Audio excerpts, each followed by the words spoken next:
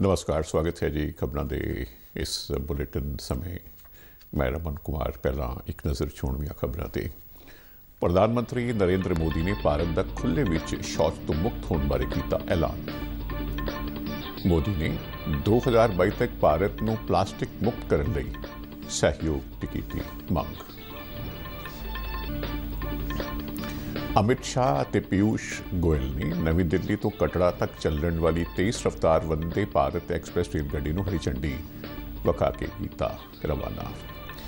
ਪੀ ਚਿਦੰਬਰਮ ਨੇ ਆਈਐਨਐਕਸ ਘੋਟਾਲਾ ਮਾਮਲੇ ਵਿੱਚ ਜ਼ਮਾਨਤ ਲਈ ਸੁਪਰੀਮ ਕੋਰਟ ਵਿੱਚ ਅਰਜ਼ੀ ਕੀਤੀ ਦਾਇਰ।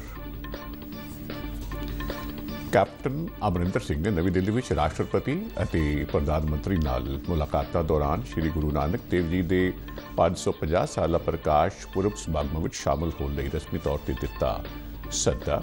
ਮੁੱਖ ਮੰਤਰੀ ਨੇ ਕਿਹਾ ਕਿ ਉਹਨਾਂ ਦੀ ਸਰਕਾਰ ਪਾਕਿਸਤਾਨ ਵਾਲੇ ਪਾਸਿਓਂ ਕਿਸੇ ਵੀ ਤਰ੍ਹਾਂ ਦੇ ਅੱਤਵਾਦ ਫੈਲਾਉਣ ਦੇ ਖਤਰੇ ਨਾਲ ਨਜਿੱਠਣ ਲਈ ਪੂਰੀ ਤਰ੍ਹਾਂ ਤਿਆਰ।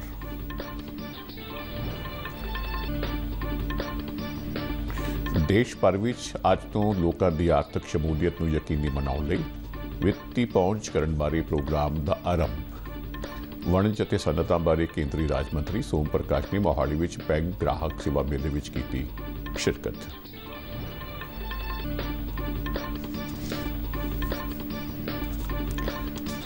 ਵਿਸ਼ਾਖਾਪਟਨਮ ਵਿੱਚ ਜਾਰੀ ਭਾਰਤ ਤੇ ਦੱਖਣ ਅਫਰੀਕਾ ਵਿਚਾਲੇ ਪਹਿਲੇ ਕ੍ਰਿਕਟ ਟੈਸਟ ਮੈਚ ਦੇ ਦੂਜੇ ਦਿਨ ਭਾਰਤ ਨੇ 7 ਖਿਡਾਰੀਆਂ ਪਿੱਛੇ 502 ਦੌੜਾਂ ਦੇ ਸਕੋਰ ਤੇ ਭਾਰੀ ਸਮਾਪਤੀ ਦਾ ਕੀਤਾ ਐਲਾਨ। ਸਲਾਮੀ ਬੱਲੇਬਾਜ਼ ਮਯੰਕ ਅਗਰਵਾਲ ਨੇ ਟੈਸਟ ਕ੍ਰਿਕਟ ਵਿੱਚ ਆਪਣਾ ਪਹਿਲਾ ਦੋਹਰਾ ਸੈਂਕੜਾ ਜੜਦਿਆਂ 215 ਦੌੜਾਂ ਬਣਾਈਆਂ। ਰੋਹਿਤ ਸ਼ਰਮਾ ਨੇ ਸ਼ਾਨਦਾਰ 176 ਦੌੜਾਂ ਦਾ ਪਾਇਆ ਯੋਗਦਾਨ। ਤੇ ਹੁਣ ਖਬਰਾਂ ਵਿਸਤਾਰ ਨਾਲ। ਮਹਾਤਮਾ ਗਾਂਧੀ ਦੀ 150ਵੀਂ ਜਯੰਤੀ ਮੌਕੇ ਕੱਲ ਪ੍ਰਧਾਨ ਮੰਤਰੀ ਨਰਿੰਦਰ ਮੋਦੀ ਨੇ ਭਾਰਤ ਨੂੰ ਖੁੱਲੇ ਵਿੱਚ ਸ਼ੌਚ ਤੋਂ ਮੁਕਤ ਹੋਣ ਬਾਰੇ ਐਲਾਨ ਕੀਤਾ। ਅਹਿਮਦਾਬਾਦ ਵਿੱਚ ਸਵੱਛ ਭਾਰਤ ਮਿਸ਼ਨ ਸੰਬੰਧੀ ਕਰਵਾਏ ਗਏ ਸਮਾਗਮ ਦੌਰਾਨ ਮੋਦੀ ਨੇ ਕਿਹਾ ਕਿ ਸਿਰਫ ਪਖਾਨੇ ਬਣਾਉਣਾ ਹੀ ਕਾਫੀ ਨਹੀਂ ਹੈ, ਸਗੋਂ ਇਸ ਦੀ ਨਿਯਮਿਤ ਵਰਤੋਂ ਨੂੰ ਆਦਤ ਬਣਾਉਣਾ ਚਾਹੀਦਾ ਹੈ। ਨਰਿੰਦਰ ਮੋਦੀ ਨੇ ਕਿਹਾ ਕਿ ਦੇਸ਼ ਭਰ ਵਿੱਚ ਚੱਲੀ ਸਵੱਛਤਾ ਮੁਹਿੰਮ ਨੇ ਉਤਪਾਦਕਤਾ ਵਿੱਚ ਵੀ ਵਾਧਾ ਕੀਤਾ ਹੈ। ਇਸ ਸਮਾਗਮ ਦੌਰਾਨ ਪ੍ਰਧਾਨ ਮੰਤਰੀ ਨੇ ਦੇਸ਼ ਭਰ ਦੇ 20000 ਸਰਪੰਚਾਂ ਨੂੰ ਸੰਬੋਧਨ ਕੀਤਾ। ਮੋਦੀ ਨੇ ਭਾਰਤ ਦੀ 130 ਕਰੋੜ ਜਨਤਾ ਨੂੰ ਦੇਸ਼ ਨੂੰ ਬਿਹਤਰ ਬਣਾਉਣ ਲਈ ਸੌਂਚ ਖਾਣ ਦੀ ਵੀ ਅਪੀਲ ਕੀਤੀ। ਪ੍ਰਧਾਨ ਮੰਤਰੀ ਵੱਲੋਂ ਗਾਂਧੀ ਜਯੰਤੀ ਮੌਕੇ ਜਿੱਥੇ ਇੱਕ ਡਾਕ ਟਿਕਟ ਤੇ ਸਿੱਕਾ ਜਾਰੀ ਕੀਤਾ ਗਿਆ, ਉੱਥੇ ਸਵੱਛ ਭਾਰਤ ਮਿਸ਼ਨ ਲਈ ਬਿਹਤਰੀਨ ਕਾਰਗੁਜ਼ਾਰੀ ਲਈ ਨਾਮ ਵੀ ਵੰਡੇ ਗਏ। ਮੋਦੀ ਨੇ ਸਵੱਛ ਭਾਰਤ ਮਿਸ਼ਨ ਲਈ ਯੋਗਦਾਨ ਤੇ ਭਾਰਤ ਨੂੰ ਖੁੱਲੇ ਵਿੱਚ ਸ਼ੌਚ ਤੋਂ ਮੁਕਤ ਕਰਨ ਲਈ ਲੋਕਾਂ ਦਾ ਧੰਨਵਾਦ ਕੀਤਾ। ਉਹਨਾਂ ਕਿਹਾ ਕਿ ਇਹ ਉਹਨਾਂ ਦੀ ਸਰਕਾਰ ਕਰਕੇ ਹੀ ਸੰਭਵ ਨਹੀਂ ਹੋਇਆ ਕਿ ਅਸੀਂ ਦੇਸ਼ ਨੂੰ ਖੁੱਲੇ ਵਿੱਚ ਸ਼ੌਚ ਤੋਂ ਮੁਕਤ ਕਰਨ ਦਾ ਟੀਚਾ ਹਾਸਲ ਕਰ ਰਹੇ ਹਾਂ, ਸਗੋਂ ਇੱਥੋਂ ਦੇ ਨਾਗਰਿਕਾਂ ਦੇ ਯੋਗਦਾਨ ਕਰਕੇ ਇਹ ਸੰਭਵ ਹੋ ਸਕਿਆ ਹੈ। ਮੋਦੀ ਨੇ ਕਿਹਾ ਕਿ ਗਾਂਧੀ ਜਯੰਤੀ ਮੌਕੇ ਉਹਨਾਂ ਨੂੰ ਲੱਗ ਰਿਹਾ ਹੈ ਕਿ ਇਤਿਹਾਸ ਆਪਣੇ ਆਪ ਨੂੰ ਦੁਹਰਾ ਰਿਹਾ ਹੈ, ਕਿਉਂਕਿ ਜਿਵੇਂ ਮਹਾਤਮਾ ਗਾਂਧੀ ਦੀ ਅਪੀਲ ਤੇ ਲੱਖਾਂ ਲੋਕਾਂ ਨੇ ਆਜ਼ਾਦੀ ਸੰਗਰਾਮ ਵਿੱਚ ਹਿੱਸਾ ਪਾਇਆ ਤੇ ਹੁਣ ਦੇਸ਼ ਤੇ ਲੱਖਾਂ ਲੋਕਾਂ ਨੇ ਉਹਨਾਂ ਦੀ ਸਵੱਛਤਾ ਮੁਹਿੰਮ ਦੇ ਸੱਦੇ ਦਾ ਪੂਰਾ ਮਨ ਨਾਲ ਸਮਰਥਨ ਕੀਤਾ ਹੈ। ਪ੍ਰਧਾਨ ਮੰਤਰੀ ਨੇ ਲੋਕਾਂ ਨੂੰ ਸਿੰਗਲ ਯੂਜ਼ ਪਲਾਸਟਿਕ ਦੀ ਵਰਤੋਂ ਨਾ ਕਰਨ ਦੀ ਵੀ ਅਪੀਲ ਕੀਤੀ ਉਹਨਾਂ ਕਿਹਾ ਕਿ ਸਿੰਗਲ ਯੂਜ਼ ਪਲਾਸਟਿਕ ਬਹੁਤ ਸਾਰੀਆਂ ਸਮੱਸਿਆਵਾਂ ਦੀ ਜੜ ਹੈ ਤੇ 2022 ਤੱਕ ਦੇਸ਼ ਨੂੰ ਇਸ ਤੋਂ ਪੂਰੀ ਤਰ੍ਹਾਂ ਮੁਕਤੀ ਪ੍ਰਾਪਤ ਕਰ ਲੈਣੀ ਚਾਹੀਦੀ ਹੈ ਉਹਨਾਂ ਕਿਹਾ ਕਿ ਸਵੱਛਤਾ ਹੀ ਸੇਵਾ ਮੁਹਿੰਮ ਦੇ ਪਿਛਲੇ 3 ਹਫ਼ਤਿਆਂ ਦੌਰਾਨ 20000 ਟਨ ਪਲਾਸਟਿਕ ਕਚਰਾ ਇਕੱਠਾ ਕੀਤਾ ਗਿਆ ਹੈ सामाजिक और आर्थिक स्थिति कैसी भी हो स्वच्छता गरिमा और सम्मान के इस यज्ञ में हर किसी ने अपना योगदान दिया है। किसी बेटी ने शादी के लिए शौचालय की शर्त रख दी तो कहीं शौचालय को इज़्ज़त घर का दर्जा मिला।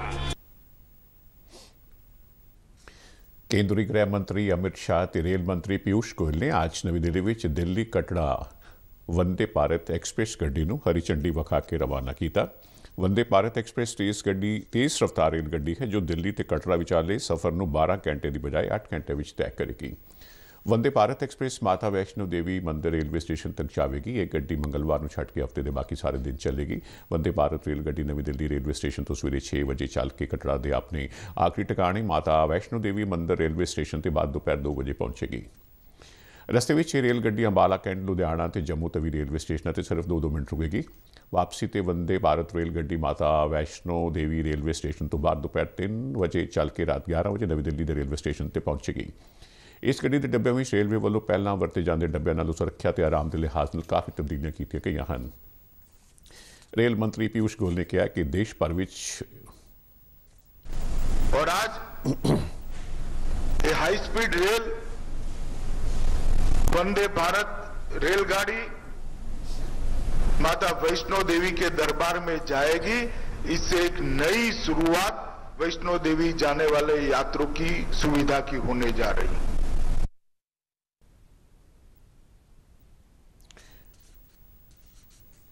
इसी गृह मंत्री ਅਮਿਤ ਸ਼ਾਹ ਦਾ ਇਸ ਮੌਕੇ ਤੇ ਸੰਬੋਧਨ ਇਸ ਮੌਕੇ ਤੇ ਰੇਲ ਮੰਤਰੀ ਪਿਊਸ਼ ਗੋਇਲ ਨੇ ਕਿਹਾ ਕਿ ਦੇਸ਼ ਭਰ ਵਿੱਚ ਇਸ ਵੇਲੇ 5000 ਰੇਲਵੇ ਸਟੇਸ਼ਨਾਂ ਤੇ ਵਾਈਫਾਈ ਦੀ ਸੁਵਿਧਾ ਉਪਲਬਧ ਹੈ ਤੇ ਆਉਣ ਵਾਲੇ 3-4 ਮਹੀਨੇ ਤੱਕ ਵਾਈਫਾਈ ਦੀ ਸੁਵਿਧਾ ਵਾਲੇ ਸਟੇਸ਼ਨਾਂ ਦੀ ਗਿਣਤੀ 6500 ਹੋ ਜਾਵੇਗੀ ਉਹਨਾਂ ਕਿਹਾ ਕਿ ਵੰਦੇ ਭਾਰਤ ਰੇਲ ਗੱਡੀ ਆਧੁਨਿਕਤਾ ਤੇ ਆਰਾਮ ਦੇ ਲਿਹਾਜ਼ ਨਾਲ ਵਿਸ਼ਵ ਦੀਆਂ ਵਧੀਆ ਰੇਲ ਗੱਡੀਆਂ ਦਾ ਮੁਕਾਬਲਾ ਕਰਦੀ ਹੈ पांच हजार से अधिक रेलवे स्टेशन में दूर दूर के गांव तक आज वाईफाई की सुविधा अलग अलग स्टेशनों पे पहुंच चुकी है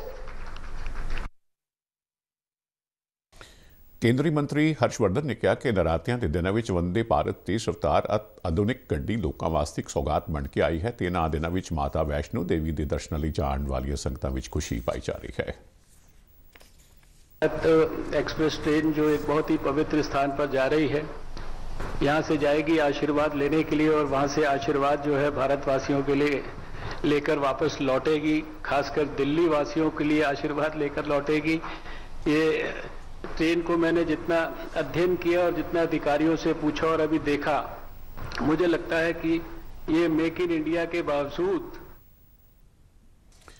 ਸੁਰੱਖਿਆ ਬਲਾਂ ਨੇ ਅੱਜ ਜੰਮੂ ਜ਼ਿਲ੍ਹੇ ਵਿੱਚ ਪੈਂਦੇ ਅਖਨੂਰ ਸੈਕਟਰ ਵਿੱਚ ਭਾਰਤ ਪਾਕ ਸਰਹੱਦ ਨੇੜਿਓਂ ਇੱਕ ਪਾਕਿਸਤਾਨੀ ਘੁਸਪੈਠੀਏ ਨੂੰ ਗ੍ਰਿਫਤਾਰ ਕੀਤਾ ਹੈ ਜੰਮੂ ਵਿੱਚ ਬੀਐਸਐਫ ਦੇ ਇੱਕ ਅਧਿਕਾਰੀ ਨੇ ਇਸ ਬਾਰੇ ਜਾਣਕਾਰੀ ਦਿੰਦਿਆਂ ਦੱਸਿਆ ਕਿ ਇਸ ਵਿਅਕਤੀ ਨੂੰ ਭਾਰਤ ਵਿੱਚ ਘੁਸਪੈਠ ਕਰਨ ਮਗਰੋਂ ਗ੍ਰਿਫਤਾਰ ਕੀਤਾ ਗਿਆ ਹੈ ਸੁਰੱਖਿਆ ਬਲਾਂ ਵੱਲੋਂ ਵਿਅਕਤੀ ਪਾਸੋਂ ਪੁੱਛਗਿੱਛ ਕੀਤੀ ਜਾ ਰਹੀ ਹੈ ਸਾਬਕਾ ਕੇਂਦਰੀ ਮੰਤਰੀ ਪੀ ਚਿਦੰਬਰਮ ਨੇ ਅੱਜ ਆਈਐਨਐਕਸ ਮੀਡੀਆ ਭ੍ਰਿਸ਼ਟਾਚਾਰ ਮਾਮਲੇ ਵਿੱਚ ਜ਼ਮਾਨਤ ਲਈ ਸੁਪਰੀਮ ਕੋਰਟ ਤੱਕ ਪਹੁੰਚ ਕੀਤੀ ਹੈ। ਚਿਦੰਬਰਮ ਦੇ ਵਕੀਲ ਕਪਿਲ ਸਿੱਬਲ ਨੇ ਇਸ ਮਾਮਲੇ ਦੀ ਜਲਦ ਸੁਣਵਾਈ ਲਈ ਜਸਟਿਸ ਐਨ ਵੀ ਰਮੰਨਾ ਤੇ ਅਦਾਲਤ ਬੈਂਚ ਅੱਗੇ ਬੇਨਤੀ ਕੀਤੀ। ਤਿੰਨ ਜੱਜਾਂ ਦੇ ਬੈਂਚ ਨੇ ਕਿਹਾ ਕਿ ਚਿਦੰਬਰਮ ਦੀ ਜ਼ਮਾਨਤ ਬਾਰੇ petition chief justice Ranjan Gogoi ਨੂੰ ਭੇਜੀ ਜਾਵੇਗੀ, ਜੋ ਇਸ ਦੀ ਸੁਣਵਾਈ ਬਾਰੇ ਤਰੀਕ ਤੈਅ ਕਰਨਗੇ। ਸੀਨੀਅਰ ਕਾਂਗਰਸੀ ਆਗੂ ਪੀ ਚਿਦੰਬਰਮ ਇਸ ਵੇਲੇ ਜੁਡੀਸ਼ੀਅਲ ਰਿਮਾਂਡ ਤਹਿਤ ਜੇਲ੍ਹ ਵਿੱਚ ਨੇ ਤੇ ਉਹਨਾਂ ਦਿੱਲੀ ਹਾਈ ਕੋਰਟ ਦੇ 30 ਸਤੰਬਰ ਦੇ ਉਹਨਾਂ ਦੀ ਜ਼ਮਾਨਤ ਦੀ ਅਰਜ਼ੀ ਖਾਰਜ ਕਰਨ ਬਾਰੇ ਹੁਕਮ ਨੂੰ ਚੁਣੌਤੀ ਦੇਣ ਲਈ ਸੁਪਰੀਮ ਕੋਰਟ ਤੱਕ ਪਹੁੰਚ ਕੀਤੀ ਹੈ। ਹਾਈ ਕੋਰਟ ਨੇ ਇਹ ਕਹਿੰਦਿਆਂ ਚਿਦੰਬਰਮ ਦੀ ਜ਼ਮਾਨਤ ਅਰਜ਼ੀ ਖਾਰਜ ਕਰਨ ਦਾ ਫੈਸਲਾ ਕੀਤਾ ਸੀ ਕਿ ਇਸ ਵੇਲੇ ਆਈਐਨਐਕਸ ਮੀਡੀਆ ਘੁਟਾਲਾ ਮਾਮਲੇ ਦੀ ਜਾਂਚ ਮਹੱਤਵਪੂਰਨ ਪੜਾਅ ਤੇ ਹੈ ਅਤੇ ਉਹਨਾਂ ਵੱਲੋਂ ਗਵਾਹਾਂ ਨੂੰ ਪ੍ਰਭਾਵਿਤ ਕਰਨ ਦੀ ਸੰਭਾਵਨਾ ਨੂੰ ਖਾਰਜ ਨਹੀਂ ਕੀਤਾ ਜਾ ਸਕਦਾ। ਪੀ ਚਿਦੰਬਰਮ ਨੂੰ ਸੀਬੀਆਈ ਵੱਲੋਂ 21 ਅਗਸਤ ਨੂੰ ਗ੍ਰਿਫਤਾਰ ਕੀਤਾ ਗਿਆ ਸੀ। ਪੰਜਾਬ ਦੇ ਮੁੱਖ ਮੰਤਰੀ ਕੈਪਟਨ ਅਮਰਿੰਦਰ ਸਿੰਘ ਨੇ ਅੱਜ ਨਵੀਂ ਦਿੱਲੀ ਵਿੱਚ ਰਾਸ਼ਟਰਪਤੀ ਰਾਮਨਾਥ ਕੋਵਿੰਦ ਅਤੇ ਪ੍ਰਧਾਨ ਮੰਤਰੀ ਨਰਿੰਦਰ ਮੋਦੀ ਨਾਲ ਵੱਖਰੇ ਤੌਰ ਤੇ ਮੀਟਿੰਗ ਦੌਰਾਨ ਸ੍ਰੀ ਗੁਰੂ ਨਾਨਕ ਦੇਵ ਜੀ ਦੇ 550 ਸਾਲਾ ਪ੍ਰਕਾਸ਼ ਪੁਰਬ ਸਮਾਗਮ ਵਿੱਚ ਸ਼ਾਮਲ ਹੋਣ ਦਾ ਰਸਮੀ ਤੌਰ ਤੇ ਸੱਦਾ ਦਿੱਤਾ। ਪੰਜਾਬ ਵਿੱਚ ਸ੍ਰੀ ਗੁਰੂ ਨਾਨਕ ਦੇਵ ਜੀ ਦੇ 550 ਸਾਲਾ ਸਮਾਗਮ ਮੁੱਖ ਤੌਰ ਤੇ ਸੁਲਤਾਨਪੁਰ ਲੋਧੀ ਤੇ ਡੇਰਾ ਬਾਬਾ ਨਾਨਕ ਵਿਖੇ ਰੱਖੇ ਗਏ ਨੇ, ਜਿੱਥੇ ਗੁਰੂ ਸਾਹਿਬ ਨੇ ਆਪਣੀ ਜ਼ਿੰਦਗੀ ਦਾ ਵੱਡਾ ਹਿੱਸਾ ਗੁਜ਼ਾਰਿਆ ਗੁਰਪੁਰਬ ਤੋਂ ਪਹਿਲਾਂ ਕਰਤਾਰਪੁਰ ਲਾਂਘਾ ਖੋਲੇ ਜਾਣ ਕਰਕੇ ਵੀ ਇਸ ਵਾਰ ਗੁਰੂ ਸਾਹਿਬ ਤੇ ਪ੍ਰਕਾਸ਼ ਪੁਰਬ ਦੀਆਂ ਵੱਖਰੀਆਂ ਹੀ ਰੌਣਕਾਂ ਵੇਖਣ ਨੂੰ ਮਿਲਣਗੀਆਂ। ਰਾਸ਼ਟਰਪਤੀ ਅਤੇ ਪ੍ਰਧਾਨ ਮੰਤਰੀ ਨਾਲ ਮੁਲਾਕਾਤਾਂ ਤੋਂ ਬਾਅਦ ਮੁੱਖ ਮੰਤਰੀ ਕੈਪਟਨ ਅਮਰਿੰਦਰ ਸਿੰਘ ਨੇ ਪੱਤਰਕਾਰਾਂ ਨਾਲ ਗੱਲਬਾਤ ਕਰਦਿਆਂ ਦੱਸਿਆ ਕਿ ਉਹਨਾਂ ਪ੍ਰਧਾਨ ਮੰਤਰੀ ਨੂੰ 550 ਸਾਲਾ ਪ੍ਰਕਾਸ਼ ਪੁਰਬ ਦੇ ਇਤਿਹਾਸਕ ਮੌਕੇ ਸ਼੍ਰੀ ਨਨਕਾਣਾ ਸਾਹਿਬ ਦੇ ਦਰਸ਼ਨਾਂ ਲਈ ਜਾਣ ਵਾਲੇ ਵਿਸ਼ੇਸ਼ ਸਿਰਫ ਪਾਰਟੀ ਜੱਥੇ ਨੂੰ ਆਗਿਆ ਦੇਣ ਸੰਬੰਧੀ ਸਿਆਸੀ ਤੌਰ ਤੇ ਪਾਕਿਸਤਾਨ ਪਾਸੋਂ ਕਲੈਰੈਂਸ ਹਾਸਲ ਕਰਨ ਸੰਬੰਧੀ ਨਿੱਜੀ ਤੌਰ ਤੇ ਦਖਲ ਦੇਣ ਦੀ ਮੰਗ ਕੀਤੀ ਹੈ। ਉਹਨਾਂ ਬੇਨਤੀ ਕੀਤੀ ਕਿ 30 ਅਕਤੂਬਰ ਤੋਂ 3 ਨਵੰਬਰ ਤੱਕ ਸ਼੍ਰੀ ਨਨਕਾਣਾ ਸਾਹਿਬ ਵਿਖੇ ਕਰਵਾਏ ਜਾਣ ਵਾਲੇ ਸ਼੍ਰੀ ਅਖੰਡ ਪਾਠ ਸਾਹਿਬ ਵਿੱਚ ਸ਼ਿਰਕਤ ਕਰਨ ਲਈ 21 ਵਿਅਕਤੀਆਂ ਦੇ ਸਮੂਹ ਵਿੱਚ ਵਿਸ਼ੇਸ਼ ਮਨਜ਼ੂਰੀ ਪ੍ਰਾਪਤ ਕਰਨ ਵਿੱਚ ਮਦਦ ਕੀਤੀ ਜਾਵੇ। ਇਸ ਤੋਂ ਇਲਾਵਾ ਸ਼੍ਰੀ ਨਨਕਾਣਾ ਸਾਹਿਬ ਤੋਂ ਸੁਲਤਾਨਪੁਰ ਲੋਧੀ ਤੱਕ ਨਗਰ ਕੀਰਤਨ ਲਿਆਉਣ ਦੀ ਵੀ ਪਾਕਿਸਤਾਨ ਤੋਂ ਇਜਾਜ਼ਤ ਹਾਸਲ ਕਰਨ ਵਿੱਚ ਮਦਦ ਕੀਤੀ ਜਾਵੇ, ਇਹ ਨਗਰ ਕੀਰਤਨ 4 ਨਵੰਬਰ ਨੂੰ ਸੁਲਤਾਨਪੁਰ ਲੋਧੀ ਪਹੁੰਚੇਗਾ। ਮੁੱਖ ਮੰਤਰੀ ਕੈਪਟਨ ਅਮਰਿੰਦਰ ਸਿੰਘ ਨੇ ਕਿਹਾ ਕਿ ਪਾਕਿਸਤਾਨ ਵਾਲੇ ਪਾਸਿਓਂ ਕਿਸੇ ਵੀ ਤਰ੍ਹਾਂ ਦੇ ਅੱਤਵਾਦ ਫੈਲਾਉਣ ਦੇ ਖਤਰੇ ਨਾਲ ਨਜਿੱਠਣ ਲਈ ਸੂਬਾ ਸਰਕਾਰ ਪੂਰੀ ਤਰ੍ਹਾਂ ਤਿਆਰ ਹੈ। ਨਵੀਂ ਦਿੱਲੀ ਵਿੱਚ ਪੱਤਰਕਾਰਾਂ ਵੱਲੋਂ ਸ੍ਰੀ ਗੁਰੂ ਨਾਨਕ ਦੇਵ ਜੀ ਦੇ 550 ਸਾਲਾ ਪ੍ਰਕਾਸ਼ ਪੁਰਬ ਸੰਬੰਧੀ ਸਮਾਗਮਾਂ ਤੋਂ ਪਹਿਲਾਂ ਡਰੋਨਾਂ ਰਾਹੀਂ ਹਥਿਆਰ ਤੇ ਹੋਰ ਸਮੱਗਰੀ ਭੇਜੇ ਜਾਣ ਤੇ ਪੁੱਛੇ ਗਏ ਸਵਾਲ ਦੇ ਜਵਾਬ ਵਿੱਚ ਮੁੱਖ ਮੰਤਰੀ ਨੇ ਕਿਹਾ ਕਿ ਉਹ ਹਰ ਕੀਮਤ ਤੇ ਸੂਬੇ ਵਿੱਚ ਕਾਨੂੰਨ ਤੇ ਪ੍ਰਬੰਧ ਦੀ ਸਥਿਤੀ ਨੂੰ ਬਰਕਰਾਰ ਰੱਖਣ ਲਈ ਪੂਰੀ ਤਰ੍ਹਾਂ ਤਿਆਰ ਨੇ, ਪਰ ਇਸ ਮੁੱਦੇ ਨੂੰ ਪ੍ਰਕਾਸ਼ ਪੁਰਬ ਨਾਲ ਸੰਬੰਧਿਤ ਸਮਾਗਮਾਂ ਨਾਲ ਨਾ ਛੋੜਿਆ ਜਾਵੇ। ਉਹਨਾਂ ਨੇ ਸਰਹੱਦੀ ਇਲਾਕਿਆਂ ਵਿੱਚੋਂ ਪਾਕਿਸਤਾਨੀ ਡਰੋਨਾਂ ਤੋਂ ਮਿਲਣ ਤੋਂ ਬਾਅਦ ਭਾਰਤੀ ਹਵਾਈ ਸੈਨਾ ਤੇ ਬੀਐਸਐਫ ਨੂੰ ਸਰਹੱਦ ਤੇ ਚੌਕਸੀ ਵਧਾਉਣ ਦੀ ਵੀ ਅਪੀਲ ਕੀਤੀ। ਅੱਜ ਤੋਂ ਦੇਸ਼ ਭਰ ਵਿੱਚ ਭਾਰਤ ਸਰਕਾਰ ਦੇ ਵਿੱਤ ਮੰਤਰਾਲੇ ਦੇ ਹੁਕਮਾਂ ਅਨੁਸਾਰ ਲੋਕਾਂ ਤੱਕ ਵਿੱਤੀ ਪਹੁੰਚ ਕਰਨ ਲਈ ਸਮਾਗਮਾਂ ਦਾ ਆਯੋਜਨ ਕੀਤਾ ਜਾ ਰਿਹਾ, ਜਿਨ੍ਹਾਂ ਵਿੱਚ ਬੈਂਕਾਂ ਤੇ ਹੋਰ ਵਿੱਤੀ ਸੰਸਥਾਵਾਂ ਵੱਲੋਂ ਮੌਕੇ ਤੇ ਲੋਕਾਂ ਨੂੰ ਜਾਣਕਾਰੀ ਦਿੱਤੀ ਜਾ ਰਹੀ ਹੈ ਤਾਂ ਜੋ ਵੱਖ-ਵੱਖ ਕੇਂਦਰੀ ਸਕੀਮਾਂ ਦਾ ਲਾਭ ਲੈ ਸਕਣ ਦੇ ਸਮਰੱਥ ਹੋ ਸਕਣ। ਮੋਹਾਲੀ ਦੇ 7 ਫੇਸ ਵਿੱਚ ਅੱਜ ਬੈਂਕ ਗ੍ਰਾਹਕ ਸੇਵਾ ਮੇਲਾ ਲਗਾਇਆ ਗਿਆ, ਜਿਸ ਵਿੱਚ ਭਾਰੀ ਗਿਣਤੀ ਵਿੱਚ ਲੋਕਾਂ ਨੇ ਸ਼ਿਰਕਤ ਕੀਤੀ। ਮੇਲੇ ਦੌਰਾਨ ਬੈਂਕਾਂ ਤੇ ਹੋਰ ਸੰਸਥਾਵਾਂ ਵੱਲੋਂ ਜਾਣਕਾਰੀ ਭਰਪੂਰ ਸਟਾਲ ਲਗਾਏ ਗਏ ਤੇ ਲੋਕਾਂ ਨੂੰ ਵੱਖ-ਵੱਖ ਸਕੀਮਾਂ ਤੇ ਉਹਨਾਂ ਦੇ ਲਾਭ ਪ੍ਰਾਪਤ ਕਰਨ ਦੇ ਅਮਲ ਬਾਰੇ ਦੱਸਿਆ ਗਿਆ। ਇਸ ਮੌਕੇ ਤੇ ਬੋਲਦਿਆਂ ਕੇਂਦਰੀ ਵਣਜ ਅਤੇ ਸਨਅਤਾਂ ਬਾਰੇ ਰਾਜ ਮੰਤਰੀ ਸੋਮ ਪ੍ਰਕਾਸ਼ ਨੇ ਕਿਹਾ ਕਿ ਵਣਜ ਅਤੇ ਸਨਅਤਾਂ ਕਿਸੇ ਵੀ ਮੁਲਕ ਦੀ ਰੀੜ ਦੀ ਹੱਡੀ ਹੁੰਦੀਆਂ ਨੇ ਤੇ ਦੇਸ਼ ਦੀ ਆਰਥਿਕ ਮਜ਼ਬੂਤੀ ਕਰਨ ਵਿੱਚ ਇਹਨਾਂ ਦਾ ਅਹਿਮ ਯੋਗਦਾਨ ਰਹਿੰਦਾ ਹੈ। ਉਹਨਾਂ ਆਖਿਆ ਕਿ ਮੋਦੀ ਸਰਕਾਰ ਦਾ ਮਕਸਦ ਲੋਕਾਂ ਦੀ ਵਿੱਤੀ ਸ਼ਮੂਲੀਅਤ ਨੂੰ ਯਕੀਨੀ ਬਣਾਉਣਾ ਤੇ ਸਮਾਜ ਵਿੱਚ ਅਸਮਾਨਤਾ ਨੂੰ ਦੂਰ ਕਰਨਾ ਹੈ। ਉਹਨਾਂ ਆਖਿਆ ਕਿ ਉਹ ਸਮਾਂ ਹੁੰਦਾ ਸੀ ਜਦ ਮੁਲਕ ਵਿੱਚ ਬੈਂਕ ਬਹੁਤ ਘੱਟ ਸਨ, ਪਰ ਅੱਜ ਪਿੰਡਾਂ ਵਿੱਚ ਵੀ ਬੈਂਕ ਮੌਜੂਦ ਹਨ। ਉਹਨਾਂ ਵਿੱਤੀ ਸਾਖਰਤਾ ਲਈ ਲਗਾਏ ਜਾ ਰਹੇ ਬੈਂਕ ਗ੍ਰਾਹਕ ਸੇਵਾ ਮੇਲੇ ਦੀ ਸ਼ਲਾਘਾ ਕੀਤੀ। Young SDM Jagdish Chatterjee,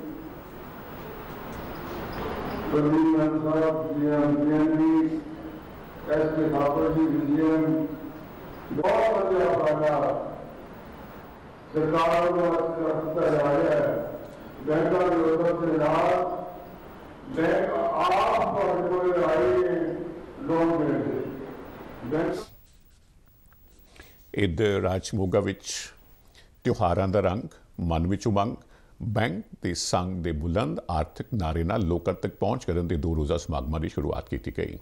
Bharat ਸਰਕਾਰ ਦੇ ਖਜ਼ਾਨਾ ਮੰਤਰਾਲੇ ਦੇ ਹੁਕਮਾਂ ਅਨੁਸਾਰ ਸਰਕਾਰ ਦੀਆਂ ਵੱਖ-ਵੱਖ ਸਕੀਮਾਂ ਸੰਬੰਧੀ ਲੋਕਾਂ ਨੂੰ ਜਾਣਕਾਰੀ ਦੇਣ ਤੇ ਉਹਨਾਂ ਦੀ ਆਰਥਿਕ ਸ਼ਮੂਲੀਅਤ ਨੂੰ ਯਕੀਨੀ ਬਣਾਉਣ ਲਈ ਜ਼ਿਲ੍ਹੇ ਭਰ ਤੇ ਬੈਂਕਾਂ ਤੇ ਮਾਲੀ ਸੰਸਥਾਵਾਂ ਨੇ ਮੌਕੇ ਤੇ ਲ- ਲੋਕਾਂ ਨੂੰ ਮਦਦ ਉਪਲਬਧ ਕਰਵਾਈ। ਇਸ ਸਮਾਗਮ ਵਿੱਚ ਜ਼ਿਲ੍ਹੇ ਭਰ ਦੇ ਬੈਂਕਾਂ, ਵਿੱਤੀ ਸੰਸਥਾਵਾਂ, ਨਾਬਾਰਡ, ਸਿਡਬੀ ਡੇਰੀ ਵਿਕਾਸ ਕੇਂਦਰ ਡੀਆਰਡੀਏ ਤੇ ਦਿਹਾਤੀ ਵਿਕਾਸ ਸੰਸਥਾਵਾਂ ਨੇ ਪ੍ਰਦਰਸ਼ਨੀ ਲਗਾ ਕੇ ਬੈਂਕ ਅਤੇ ਭਾਰਤ ਸਰਕਾਰ ਦੀ ਸਕੀਮਾਂ ਬਾਰੇ ਲੋਕਾਂ ਨੂੰ ਦੱਸਿਆ ਤੇ ਉਹਨਾਂ ਦੇ ਸਵਾਲਾਂ ਦੇ ਜਵਾਬ ਦਿੱਤੇ। ਸਮਾਗਮ ਦਾ ਉਦਘਾਟਨ ਕਰਦਿਆਂ ਮੋਗਾ ਦੇ ਵਧੀਕ ਡਿਪਟੀ ਕਮਿਸ਼ਨਰ ਸੁਭਾਸ਼ ਚੰਦਰ ਨੇ ਵਿੱਤੀ ਪਹੁੰਚ ਦੇ ਇਸ ਸਮਾਗਮ ਦੀ ਸ਼ਲਾਘਾ ਕੀਤੀ। ਉਹਨਾਂ ਕਿਹਾ ਕਿ ਅੱਜ ਦੇ ਸਮੇਂ ਵਿੱਚ ਹਰ ਵਿਅਕਤੀ ਲਈ ਵਿੱਤੀ ਸਾਖਰਤਾ ਬਹੁਤ ਜ਼ਰੂਰੀ ਹੈ, ਜਿਸ ਨਾਲ ਉਹ ਆਪਣੇ ਕਮਾਏ ਧਨ ਤੋਂ ਬਹੁਪੱਖੀ ਫਾਇਦਾ ਲੈ ਸਕਦੇ ਹਨ। ਉਹਨਾਂ ਦੱਸਿਆ ਕਿ ਇਸ ਜਾਗਰੂਕਤਾ ਪ੍ਰੋਗਰਾਮ ਦਾ ਮਕਸਦ ਗਾਹਕਾਂ ਨੂੰ ਬੈਂਕਾਂ ਵਿੱਚ ਨਿਵੇਸ਼ ਕਰਨ ਤੋਂ ਲੈ ਕੇ ਕਰਜ਼ ਪ੍ਰਾਪਤ ਕਰਨ ਤੱਕ ਜਾਣਕਾਰੀ ਮੁਹੱਈਆ ਕਰਵਾਉਣਾ ਹੈ। ਏਡੀਸੀ ਨੇ ਭਾਰਤ ਸਰਕਾਰ ਦੇ ਪਿੰਡੂ ਕੌਮੀ ਉਪਜੀਵਿਕਾ ਮਿਸ਼ਨ ਤਹਿਤ ਚੱਲ ਰਹੇ ਸੈਲਫ ਹੈਲਪ ਗਰੁੱਪਾਂ ਸੰਬੰਧੀ ਜਾਣਕਾਰੀ ਦਿੰਦਿਆਂ ਮਹਿਲਾਵਾਂ ਨੂੰ ਬੈਂਕਾਂ ਤੋਂ ਸਹਿਯੋਗ ਲੈਣ ਦੀ ਅਪੀਲ ਕੀਤੀ ਤਾਂ ਜੋ ਉਹ ਆਪਣੇ ਪੈਰਾਂ ਤੇ ਖੜੀਆਂ ਹੋ ਸਕਣ। ਪੰਜਾਬ ਐਂਡ ਸਿੰਧ ਬੈਂਕ ਦੇ ਜ਼ੋਨਲ ਮੈਨੇਜਰ ਅਜੀਬ ਕੁਮਾਰ ਬਾਂਸਲ ਨੇ ਕਿਹਾ ਕਿ ਭਾਰਤ ਸਰਕਾਰ ਦੇ ਵਿੱਤ ਮੰਤਰਾਲੇ ਦਾ ਉਦੇਸ਼ ਹਰ ਦੇਸ਼ ਵਾਸੀ ਨੂੰ ਬੈਂਕਿੰਗ ਸਹੂਲਤਾਂ ਮੁਹੱਈਆ ਕਰਵਾਉਣਾ ਹੈ ਤੇ ਇਸ ਸਮਾਗਮ ਮੌਕੇ ਸਾਰੇ ਬੈਂਕ ਲੋਕਾਂ ਨੂੰ ਜਾਗਰੂਕ ਕਰਨ ਲਈ ਪਹੁੰਚੇ ਹੋਏ ਨੇ। ਕ੍ਰਿਕਟ ਭਾਰਤ ਅਤੇ ਦੱਖਣ ਅਫਰੀਕਾ ਵਿਚਾਲੇ ਤਿੰਨ ਟੈਸਟ ਕ੍ਰਿਕਟ ਮੈਚਾਂ ਦੀ ਲੜੀ ਦੇ ਪਹਿਲੇ ਮੈਚ ਵਿੱਚ ਭਾਰਤ ਦੀ ਸਥਿਤੀ ਕਾਫੀ ਮਜ਼ਬੂਤ ਹੋ ਗਈ ਹੈ। ਮੈਚ ਦੇ ਦੂਜੇ ਦਿਨ ਭਾਰਤ ਨੇ 7 ਖਿਡਾਰੀਆਂ ਪਿੱਛੇ 502 ਦੌੜਾਂ ਦੇ ਸਕੋਰ ਤੇ ਪਾਰੀ ਸਮਾਪਤੀ ਦਾ ਐਲਾਨ ਕੀਤਾ। ਭਾਰਤ ਦੇ ਇਸਲਾਮੀ ਬੱਲੇਬਾਜ਼ ਬਯੰਕ ਅਗਰਵਾਲ ਤੇ ਰੋਹਿਤ ਸ਼ਰਮਾ ਨੇ ਸ਼ਾਨਦਾਰ ਪ੍ਰਦਰਸ਼ਨ ਕੀਤਾ ਤੇ ਭਾਰਤੀ ਟੀਮ ਨੂੰ ਮਜ਼ਬੂਤੀ ਦੇਣ ਵਿੱਚ ਅਹਿਮ ਭੂਮਿਕਾ ਨਿਭਾਈ। ਮਯੰਕ ਅਗਰਵਾਲ ਨੇ ਦੋ ਰਾਹ ਸੈਂਕੜਾ ਜੜਦਿਆਂ 215 ਦੌੜਾਂ ਦਾ ਯੋਗਦਾਨ ਪਾਇਆ। ਰੋਹਿਤ ਸ਼ਰਮਾ ਨੇ 176 ਦੌੜਾਂ ਬਣਾਈਆਂ। ਰਵਿੰਦਰ ਜਡੇਜਾ 30 ਦੌੜਾਂ ਬਣਾ ਕੇ ਨਾਬਾਦ ਰਿਹਾ। ਰਿਦਮਨ ਸਾਹਾ 21 ਕਪਤਾਨ ਵਿਰਾਟ ਕੋਹਲੀ ਵੀ, ਅਜਿੰਕਾ ਰਹਾਣੇ 15 ਤੇ ਚਿਤੇਸ਼ਵਰ ਪੁਜਾਰਾ 6 ਦੌੜਾਂ ਬਣਾ ਕੇ ਆਊਟ ਹੋਏ। ਦੱਖਣ ਅਫਰੀਕਾ ਵੱਲੋਂ ਕੇਸ਼ਵ ਮਹਾਰਾਜ ਨੇ 3 ਜਦਕਿ ਡੀਨ ਏਲਗਰ ਮੁਤਸਾਮੀ ਡਿਨ ਪਿੰਡਿਤ ਤੇ ਫਿਲੈਂਡਰ ਨੇ ਇੱਕ ਇੱਕ ਵਿਕਟ ਨਾਲ ਆਊਟ ਕੀਤਾ। ਦੱਖਣ ਅਫਰੀਕਾ ਦੀ ਸ਼ੁਰੂਆਤ ਬਹੁਤ ਖਰਾਬ ਰਹੀ, ਉਸ ਦਾ ਸਲਾਮੀ ਬੱਲੇਬਾਜ਼ ਸੇਡਨ ਮਾਰਕਰਮ ਪੰਜ ਦੌੜਾਂ ਦੇ ਸਕੋਰ ਤੇ ਅਸ਼ਵਿਨ ਹੱਥੋਂ ਆਊਟ ਹੋ ਗਿਆ। ਉਸ ਤੋਂ ਬਾਅਦ ਡੀ ਬਰੂਏਨ ਨੇ ਚਾਰ ਦੌੜਾਂ ਬਣਾ ਕੇ ਪਵਿਡਨ ਪਰਤਣਾ ਪਿਆ। ਡੇਨ ਪਿੰਡਿਤ ਬਿਨਾਂ ਕੋਈ ਦੌੜ ਬਣਾਏ, ਰਵਿੰਦਰ ਜਡੇਜਾ ਦਾ ਸ਼ਿਕਾਰ ਹੋਇਆ। ਇਸ ਤਰ੍ਹਾਂ ਦੂਜੇ ਦਿਨ ਦੀ ਖੇਡ ਖਤਮ ਹੋਣ ਤੱਕ ਦੱਖਣ ਅਫਰੀਕਾ ਨੇ ਤਿੰਨ ਖਿਡਾਰੀ ਪਿੱਛੇ ਸਿਰਫ 39 ਦੌੜਾਂ ਬਣਾਈਆਂ ਤੇ ਉਹ ਭਾਰਤ ਤੋਂ 463 ਦੌੜਾਂ ਨਾਲ ਪਿੱਛੇ ਹੈ ਤੇ ਬੁਲੇਟਿਨ ਦੇ ਅਖੀਰ ਵਿੱਚ ਚੋਣਵੀਆਂ ਖਬਰਾਂ ਤੇ ਇੱਕ ਨਜ਼ਰ ਫੇਰ ਤੋਂ। ਪ੍ਰਧਾਨ ਮੰਤਰੀ ਨਰਿੰਦਰ ਮੋਦੀ ਨੇ ਭਾਰਤ ਦਾ ਖੁੱਲੇ ਵਿੱਚ ਸ਼ੌਚ ਤੋਂ ਮੁਕਤ ਹੋਣ ਬਾਰੇ ਕੀਤਾ ਐਲਾਨ। ਮੋਦੀ ਨੇ 2022 ਤੱਕ ਭਾਰਤ ਨੂੰ ਪਲਾਸਟਿਕ ਮੁਕਤ ਕਰਨ ਲਈ ਸਹਿਯੋਗ ਦੀ ਕੀਤੀ ਮੰਗ। ਅਮਿਤ ਸ਼ਾਹ ਅਤੇ ਪਿਊਸ਼ ਗੋਇਲ ਨੇ ਨਵੀਂ ਦਿੱਲੀ ਤੋਂ ਕਟੜਾ ਤੱਕ ਚੱਲਣ ਵਾਲੀ ਤੇਜ਼ ਰਫ਼ਤਾਰ ਵੰਦੇ ਭਾਰਤ ਐਕਸਪ੍ਰੈਸ ਗੱਡੀ ਨੂੰ ਹਰੀ ਝੰਡੀ ਵਿਖਾ ਕੇ ਕੀਤਾ ਰਵਾਨਾ। ਪੀ ਚਿਦੰਬਰਮ ਨੇ ਆਈਐਨਐਕਸ ਘੁਟਾਲਾ ਮਾਮਲੇ ਵਿੱਚ ਜ਼ਮਾਨਤ ਲਈ ਸੁਪਰੀਮ ਕੋਰਟ ਵਿੱਚ ਕੀਤੀ ਅਰਜ਼ੀ ਦਾਇਰ। ਕੈਪਟਨ ਅਮਰਿੰਦਰ ਸਿੰਘ ਨੇ ਨਵੀਂ ਦਿੱਲੀ ਵਿੱਚ ਰਾਸ਼ਟਰਪਤੀ ਅਤੇ ਪ੍ਰਧਾਨ ਮੰਤਰੀ ਨਾਲ ਮੁਲਾਕਾਤਾਂ ਦੌਰਾਨ ਸ੍ਰੀ ਗੁਰੂ ਨਾਨਕ ਸਾਹਿਬ ਦੇ 550 ਸਾਲਾ ਪ੍ਰਕਾਸ਼ ਪੁਰਬ ਸਮਾਗਮ ਵਿੱਚ ਸ਼ਾਮਲ ਹੋਣ ਲਈ ਰਸਮੀ ਤੌਰ ਤੇ ਦਿੱਤਾ ਸੱਦਾ। ਮੁੱਖ ਮੰਤਰੀ ਨੇ ਕਿਹਾ ਕਿ ਉਹਨਾਂ ਦੀ ਸਰਕਾਰ ਪਾਕਿਸਤਾਨ ਵਾਲੇ ਪਾਸਿਓਂ ਕਿਸੇ ਵੀ ਤਰ੍ਹਾਂ ਦੇ ਅੱਤਵਾਦ ਫੈਲਾਉਣ ਦੇ ਖਤਰੇ ਨਾਲ ਨਜਿੱਠਣ ਲਈ ਪੂਰੀ ਤਰ੍ਹਾਂ ਤਿਆਰ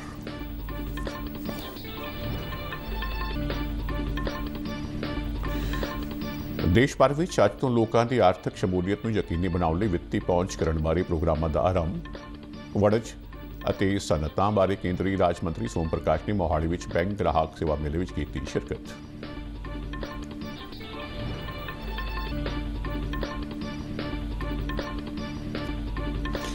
ਵਿਸ਼ਾਖਾਪਟਨਮ ਵਿੱਚ ਜਾਰੀ ਭਾਰਤ ਅਤੇ ਦੱਖਣ ਅਫਰੀਕਾ ਵਿਚਾਲੇ ਪਹਿਲੇ ਕ੍ਰਿਕਟ ਟੈਸਟ ਮੈਚ ਦੇ ਦੂਜੇ ਦਿਨ ਭਾਰਤ ਨੇ ਸੱਤ ਖਿਡਾਰੀ ਪਿੱਛੇ 502 ਦੌੜਾਂ ਦੇ ਸਕੋਰ ਤੇ ਭਾਰੀ ਸਮਾਪਤੀ ਦਾ ਕੀਤਾ ਐਲਾਨ। ਸਲਾਮੀ ਬੱਲੇਬਾਜ਼ ਮਯੰਕ ਅਗਰਵਾਲ ਨੇ ਟੈਸਟ ਕ੍ਰਿਕਟ ਵਿੱਚ ਆਪਣਾ ਪਹਿਲਾ ਦੋਹਰਾ ਸੈਂਕੜਾ ਜੜਦਿਆਂ 215 ਦੌੜਾਂ ਬਣਾਈਆਂ। ਰੋਹਿਤ ਸ਼ਰਮਾ ਨੇ ਸ਼ਾਨਦਾਰ 176 ਦੌੜਾਂ ਦਾ ਯੋਗਦਾਨ ਪਾਇਆ। ਸੋ ਸਨ ਇਸ ਬੁਲੇਟਿਨ ਦੀਆਂ ਖਬਰਾਂ, ਹੁਣ ਇਜਾਜ਼ਤ ਚਾਹਾਂਗੇ। ਨਮਸਕਾਰ।